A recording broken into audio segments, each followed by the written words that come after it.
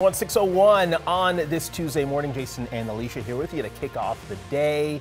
Got a lot to talk about this morning, but first we got to talk about the weather because things are relatively quiet. Yes, and uh, I'm planning to fill up my kiddie pool once again this week. It's time. I love that kiddie it. pool. I don't know why I did that. Do you ever put them away? I have. I did, and I regret it. Oh yeah, no, I have mine. I've had mine outside in the yard. I just move it in different spots of the grass so the grass doesn't die. Right. Genius. Sorry, Nabes. 67 degrees out there right now. It is a beautiful start. 58 degrees in Brainerd, 56 in Grand Rapids. There's your 67 in the Twin Cities. It's our warm spot. It's a classic summer morning here. I had one little baby storm trying to go, uh, and it looks like they're still out there just south of Brainerd right now, but that's about it. Most of us are just going to be completely sunny today. We've got three to five, that classic time slot there, the peak heating of the day. Could see another isolated storm. I'll track it out for you on Future Radar in a bit here. Cece. Hey, good morning. A traffic incident just cleared over in St. Paul 35E northbound. Otherwise, things are pretty quiet still out there. It's really been that way since around the 4th. Live look here on 35W southbound road work starting there later in the morning. You can already see the construct construction barrels out and about there. Details on exactly where you'll see some slowdowns when I see you next. Jason. All right, Cece, thank you very much. Turning now to some breaking news out of Minneapolis.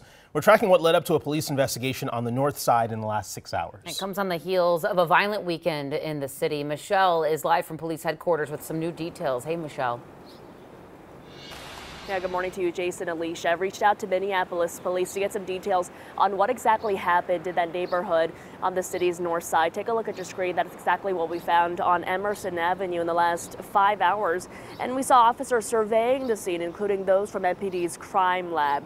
As we work to get answers on what brought them there, we do know this incident comes on the heels of a violent weekend in the city, including three people being shot outside a cabaret downtown in the last 28 hours. The police chief saying yesterday in general, shootings are related to people getting drunk.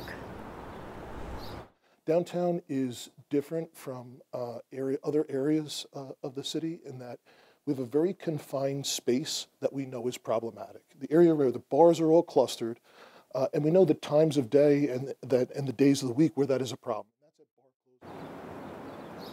Yeah, we know the latest violence is a setback for downtown, which in the, uh, in the last three years has really gone down in terms of those violent crimes there. I'll detail more of that coming up in 30 minutes. I'll also try to get more information on the situation, the investigation happening on Emerson Avenue. Of course, I'll bring you the latest as soon as I get that information. Back to you. So waiting to hear from officials. All right, Michelle Baik reporting live. Thank you. This morning, Metro Transit police say a man is in the hospital with critical injuries after a shooting near a light rail station. It happened just before 4 yesterday afternoon in front of the Lake Street Midtown station. Metro Transit police say the shooting happened after an altercation and it isn't transit related. Police are now searching for a suspect. And police are also searching for suspects in a Minneapolis shooting that killed an 18 year old. Gunfire broke out at around 9 Sunday night near the intersection of 27th Street West and Nicollet Avenue in the Whittier neighborhood. Police don't have an exact motive, but say it appears a fight escalated into a shooting. In the last 24 hours, five people were charged in the Dinkytown fireworks chaos from the 4th of July, with more charges expected in the next few days. Audrey Russo joins us from the courthouse, where those first few suspects will be in just a few hours. Audrey. Yeah, Jason, five suspects in total will face a judge at the court behind me at 1.30 this afternoon. Just five who are officially charged as of right now, but prosecutors say they're expecting to charge a lot more. All in all, police tell us 30 people were arrested in the 4th of July mayhem, and the Hennepin County Attorney's Office says that they want to charge 20 adults in total. They're looking to charge them with second degree felony rioting. Now, police tell us that they managed to trace back a lot of these large groups that gathered in Dinkytown on the 4th back to social media pop up events. And unlike the last two years on the 4th of July, fortunately this time around, no one was seriously injured by the fireworks. Now, something that's noteworthy of the five suspects who are due in court today, four of them have out of state addresses. Only one has a Minneapolis address listed as their home residence. Coming up in the next half hour, we're going to get into the details of exactly what police say these suspects did on the 4th of July and some of the maximum penalties they could face if convicted. Back to you. All right, Audrey, thank you. We'll check back in 30 minutes.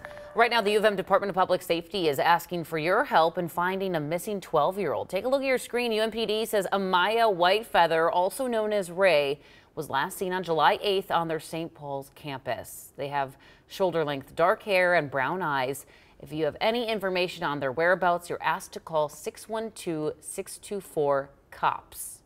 Just eight hours ago, hundreds gathered in Elk River to honor the three teens involved in the deadly car crash in Big Lake. Charles Gabalsik, who is still in the ICU, joining over FaceTime.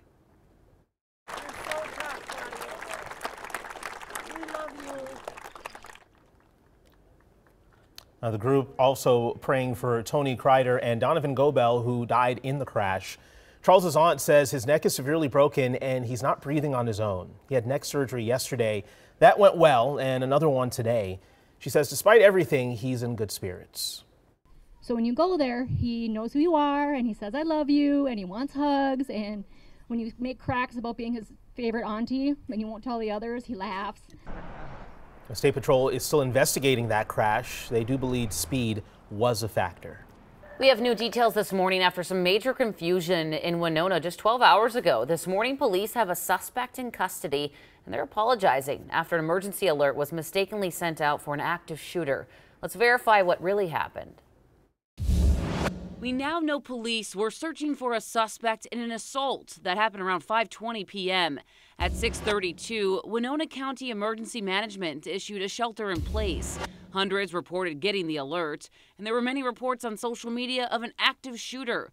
Emergency Management then posted on Facebook the alert was sent to too wide of an area. Just before 8, police said the shelter in place had been lifted. 90 minutes later, they found the suspect they were looking for and took him into custody. So we can verify yes, there was a shelter in place, but only for a small portion of Winona. And reports of an active shooter were false because an alert platform not used by law enforcement mistakenly sent it out. Time now 608, a proposed contract between the city of Minneapolis and its police department will now move ahead to a full council vote. This comes after the public had another chance here to comment during a committee meeting about 18 hours ago. The three-year tentative agreement gives officers a nearly 22% raise and implements some reforms. Some members of the community said those reforms, though, don't go far enough. A full council vote on whether to approve the deal will be next Thursday. Plans for a new development, including housing and a mosque, are on hold in Lino Lakes. The City Council officially approved a one year moratorium on development in the area. The project's developers call the proposal unfair, saying it's motivated by race. But council member Michael Rulin says the city needs more time to study the area and the impact on traffic and utilities. Minneapolis officially submitted a bid to host the Sundance Film Festival in 2027. As part of its proposal, the city developed a host committee, which includes Mayor Fry and CEOs from Target, Best Buy, and U.S. Bank. The host committee expects to offer $2 million annually to sustain and expand the festival. According to Deadline.com, a decision on the host city for 2027 isn't expected until the end of next year.